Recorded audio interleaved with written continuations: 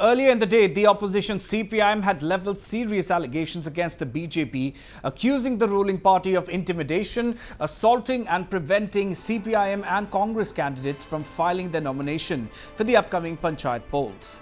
With just days left for filing of nomination papers, the CPIM has demanded for an extension of seven days till the 25th of July. Addressing the media in Agartala, opposition leader Jitendra Chaudhary alleged that out of 35 blocks, left front candidates are allegedly facing attacks from the BJP in as many as 23 blocks.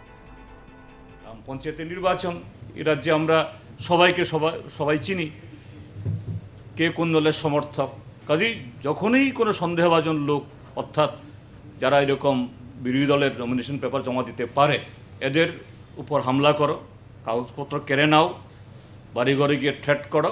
এটা শুধু আমরা CPIM না বামফ্রন্টের সব কটা শরিক দলের লোক সিপিআইএমএল এর নেতা, পার্থ কর্মকার, মার খেয়েছে প্রথম দিনে। গতকালও সিপিআই এর নেতা রাজভেরি ঘোষ আমার পেছনেই ছিলেন, তার গাড়ি আটকে, তার গাড়ি ভেঙে দিয়ে তাকে মেরেছে। কংগ্রেস দলের বহু নেতা কর্মী মার খেয়েছে। একটা অস্বাভাবিক একটা পরিস্থিতি সুস্থভাবে, স্বাভাবিকভাবে, শান্তিপূর্ণভাবে, অবাধে নির্বাচন করার কোনো পরিস্থিতি নেই।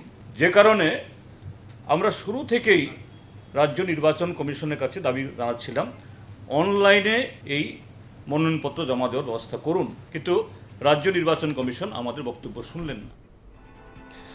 And a CPIM delegation met the state election commissioner and briefed him on the present scenario. The CPIM has demanded an extension for seven days for filing of nomination papers and to provide security to candidates while submitting their nomination papers. The CPIM has also demanded that those gathering outside block offices and organizing attacks on opposition supporters should be arrested.